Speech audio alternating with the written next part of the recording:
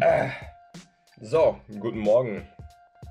Heute ist ein ganz besonderer Tag und deswegen gibt es auch mal wieder einen kleinen Frühstückstisch bei mir.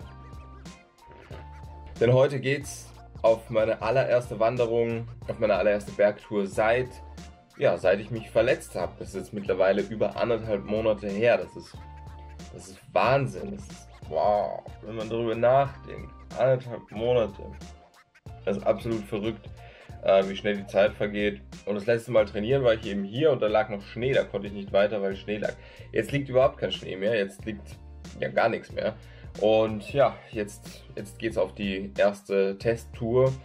Und ich bin aufgeregt tatsächlich. Ich habe mir eine, eine, eine, eine Strecke rausgesucht, die ich schon hunderte Male gegangen bin, um einen Vergleichswert zu haben, wie viel ich in den letzten ähm, fast zwei Monaten jetzt verloren habe. An Kondition, an Kraft. Das ist eine sehr steile Strecke, der, äh, der Innsbrucker Seilbahnsteig. Das ist keine sonderlich schöne Strecke, muss ich ehrlicherweise sagen, aber sie ist gut vergleichbar für mich, weil die habe ich früher als Trainingsstrecke für steile Bergaufstücke genutzt. Das sind exakt 1000 Höhenmeter. Ich bin jetzt dieses Jahr bin ich diese Strecke noch kein einziges Mal gegangen, weil damals lag eben noch Schnee. Und das letzte Mal, also letztes Jahr im Oktober, glaube ich. Jetzt bin ich gespannt, ob ich viel länger brauche, etwas länger brauche, doppelt so lange brauche. Mal schauen.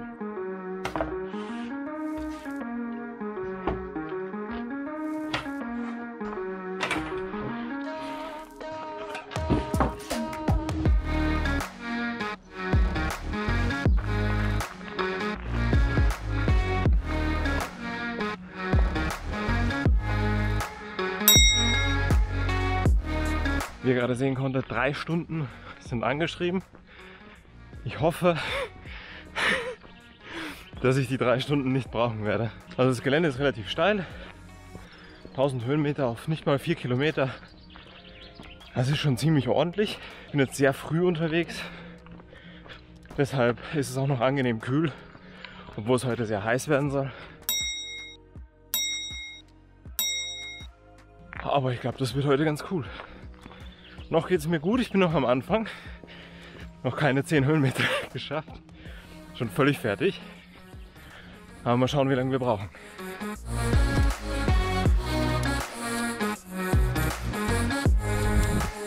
Also was ich jetzt schon mal festgestellt habe, ist, dass ich viel zu schnell unterwegs bin. Viel zu schnell gestartet bin. Das wundert mich ehrlich gesagt nicht, weil das war immer so mein größtes, meine größte Angst auch, dass ich einfach so euphorisch bin, dass ich dann am Ende äh, von Anfang an weg Vollgas gebe. Und ich merke es jetzt schon in meinen Gesäßmuskeln durch das extreme Hochsteigen, dass es einfach äh, mein Körper nicht mehr gewöhnt ist. Aber bis jetzt geht es gut. Mein Knie macht keine Probleme. Auch meine Moderna-Impfung macht eigentlich keine Probleme mehr. Und jetzt bin ich auf, Moment, 1090 Meter und bin äh, nicht mal ein Kilometer gegangen und zwölf Minuten unterwegs. Und äh, bei 900 startet man, glaube ich. 910. Ich glaube 910 startet man. Das ist eigentlich ganz okay. Aber schauen wir mal weiter. Also, ich drücke zwar immer auf Pause bei meiner Uhr, wenn ich jetzt Videoaufnahmen mache. Das liegt vor allen Dingen daran, weil es eh wurscht ist. Also ich vergleiche die Zeit ja sowieso nicht mit meiner Bestzeit. Insofern ist es egal und ich finde ja vor allen Dingen die, die reine Gehzeit super interessant. Also wie lange brauche ich letztlich für die, für die Höhenmeter und für die Strecke. Für alle Leute, die süchtig nach Infos und Datasheets sind, hier eine kleine Zwischenzeit. 18 Minuten 38, 1180 Höhenmeter. Naja, gut ist anders, aber es ist das allererste Mal nach anderthalb Monaten, dass ich mich überhaupt wieder bewege. Insofern äh, darf ich nicht zu viel heute von mir erwarten. Aber ich kenne mich leider.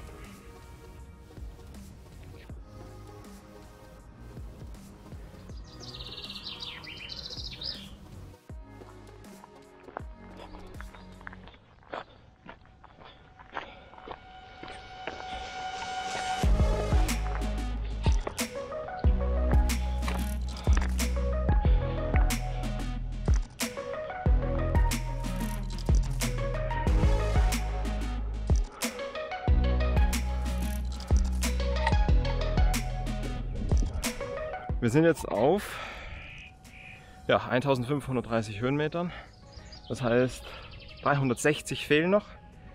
Ich bin jetzt 41 Minuten und 51 Sekunden unterwegs. Wie gesagt, ich mache nur Pause, wenn ich auch filme. Ich versuche ja möglichst lange durchgängig zu gehen und, und nicht zu viel stehen zu bleiben. Deshalb habe ich mir gedacht, nehme ich auch die Kamera mit, ist ganz praktisch, denn dann muss ich jedes Mal filmen, wenn ich stehen bleibe. Und äh, so muss ich mir die Pausen gut einteilen, weil ich habe nicht so viel zu erzählen. Tja, naja, es ist auf jeden Fall super anstrengend. 41 Minuten ist nicht, nicht so schlecht, wie ich dachte. Ich dachte, ich bin jetzt schon ungefähr bei einer Stunde. Aber mal schauen, jetzt raus wird es natürlich, werde ich müde und da wird es jetzt zäh. So, wir stehen jetzt hier genau unter der Seilbahn. Und da kommt sie hoch und da fährt sie auch wieder runter. Und es ist weder idyllisch noch schön. Es ist auch nicht kühl. Es ist brutal heiß für die Uhrzeit. Keine Bäume, kein, äh, kein Schatten, die Sträucher sind zu niedrig. Und es ist unfassbar steil. Also ich kenne die Strecke, also ich weiß wie steil sie ist. Äh, aber einfach nur als Beschreibung für euch. Falls ihr mal in Innsbruck unterwegs seid, der Seilbahnsteig ist wirklich unterhaltsam, wirklich lustig. Eine sportliche, witzige Challenge. Aber es ist, eigentlich ist es ganz cool. Es ist lustig, aber als Trainingsstrecke muss man schon ziemlich ein Masochist sein, damit man den Scheiß andauernd wieder macht. Ja. Naja, weiter geht's.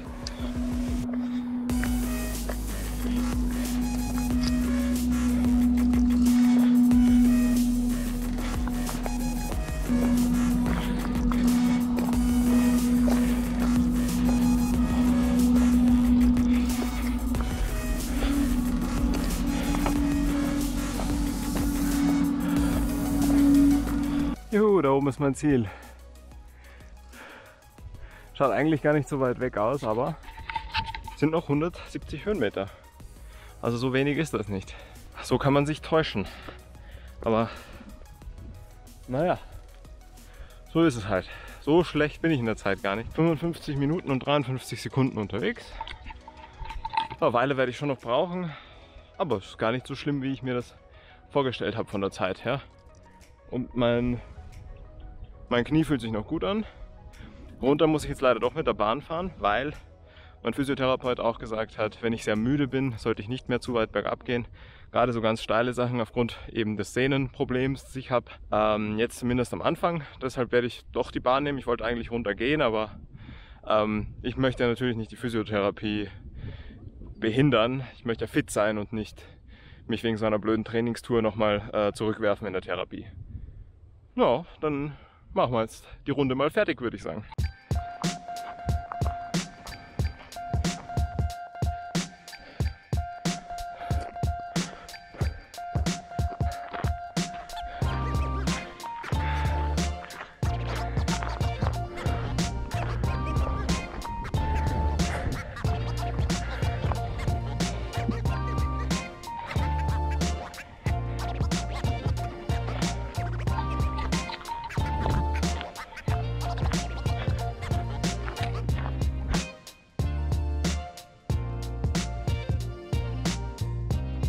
Also ich weiß, das muss, muss sich jetzt für den einen oder anderen von euch ziemlich lächerlich anhören, aber wenn man anderthalb Monate lang nicht weiß, ob man, ob und wie man wieder fit wird, ob man wieder die Chance kriegt, dass man wirklich Vollgas geben kann, ähm, dann ist es einfach ein Wahnsinns, ein Wahnsinnserlebnis, wenn man einfach merkt, dass es wieder geht, dass man, dass man wieder kann. Ich hatte ein gutes Gefühl bezüglich heute, aufgrund der Tatsache, dass ich zuvor schon mal eine kleine Tour gemacht habe.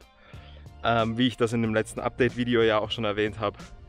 Aber das ist, ähm, das ist auch die Tatsache, dass ich etwas ähm, über eine Stunde gebraucht habe. Ich weiß gar nicht, wie lange jetzt. Eine Stunde sechs habe ich gebraucht.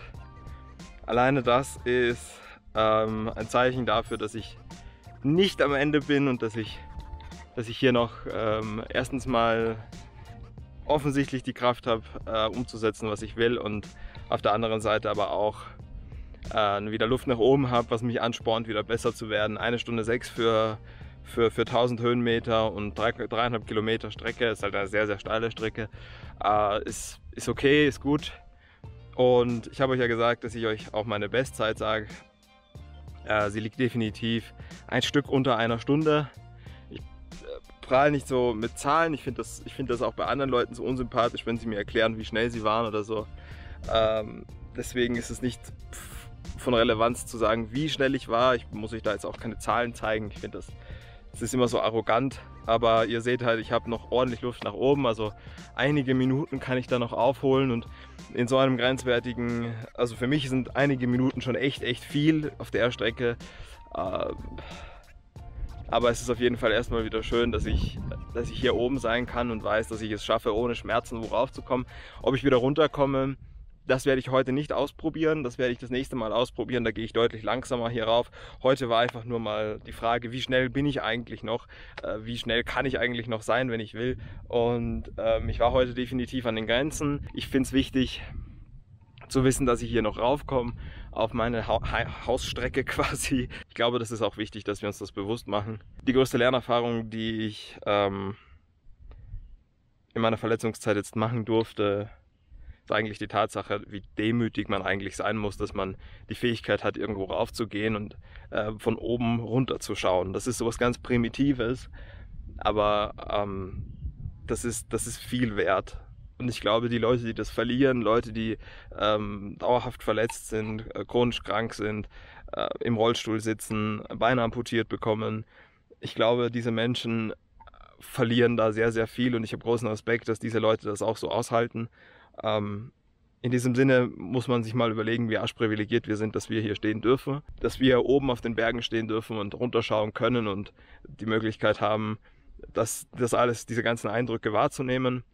Ähm, so sehr ich auch über die Seilbahnen natürlich hin und wieder auch schimpfe, bin ich froh, dass es sie jetzt in diesem Moment natürlich auch gibt. Ich sage ja auch nie, dass, es sie, dass man sie abreißen sollte. Ich bin ähm, eben auch der Meinung, dass die Leute, die eingeschränkt sind und diese Blicke nicht haben können und sie nicht selber erarbeiten können, weil sie eben eingeschränkt sind, diese Blicke auch über so Seilbahnen haben sollen dürfen. Auch ich bin heute froh, weil, ich, weil meine Oberschenkel eindeutig zu müde sind, diese steile Strecke wieder bergab zu gehen und das alles sehr, sehr schlecht für, meine, für meinen Gesundheitszustand wäre, das so zu probieren. Ähm, ich bin aber alles in allem einfach nur froh, dass ich, dass ich wieder da bin und ähm, dass ich jetzt auch weiß, dass es losgehen kann, dass ich jetzt wieder trainieren kann, äh, dass ich auch, wenn ich im Gang zurückschalte, ähm, wahrscheinlich wieder ganz einfach auch mehr Höhenmeter schaffen kann. 1000 ist jetzt keine große Leistung, 1000 Höhenmeter brauche ich für jeden Berg, aber ich bin mir sicher, dass ich 1500, 2000, 2500 auch wieder, ähm, auch wieder schaffen würde.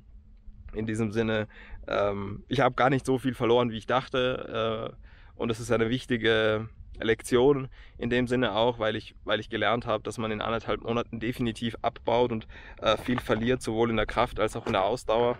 Aber eines ist ganz sicher, ähm, ich glaube, man malt sich dramatischer aus im Kopf, als es dann in der Realität ist, weil man einfach keinen Vergleichswert hat. Und ich werde mir das sehr genau aufschreiben und ich bin froh, dass ich das hier auch per Uhr getrackt habe, damit ich einfach weiß, wenn ich anderthalb Monate lang nichts mache, ja, dann falle ich ein ganzes Stück zurück, aber ich bin definitiv nicht weg die Tatsache, kein Training zu machen, tat einfach furchtbar weh. Ich habe es an meiner körperlichen Verfassung gemerkt, wie ich einfach schlaffer werde und, und, und ich immer mehr esse, weil ich so frustriert war und deprimiert. Und ähm, dieser, äh, der, der heutige Tag sagt mir eindeutig, ich bin noch nicht da, wo ich hin will, aber ich bin auf jeden Fall schon mal wieder auf einem guten Weg und ich, ähm, ich werde es jetzt nächste Woche dann mal mit mehr probieren, vielleicht 1200, 1300 Höhenmeter. Vielleicht gehe ich bis ganz rauf hier aufs Havelecker. Vielleicht gehe ich auf die Roma-Spitze weiter östlich im Gebirge. Ähm, und so werde ich mich jetzt Schritt für Schritt rantasten, bis ich dann in zwei, drei Wochen hoffentlich auf dem Stand bin, dass ich meine 2000 Höhenmeter Touren wieder ganz normal wie immer gehen kann und einfach wieder alle, alle Hochtouren auch als Tagestouren bewältigen kann.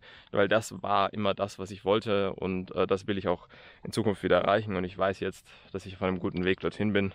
Und in diesem Sinne hoffe ich, ihr habt noch eine schöne Woche. Seid fleißig in den Bergen. Bergheil.